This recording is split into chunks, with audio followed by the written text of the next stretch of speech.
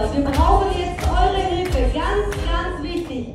Wenn ihr seht, dass ein Teller runterzufallen droht, dann müsst ihr laut rufen, denn die sind echt und wir möchten keine Scherben in der Manege. Meint ihr, ihr kriegt das hin?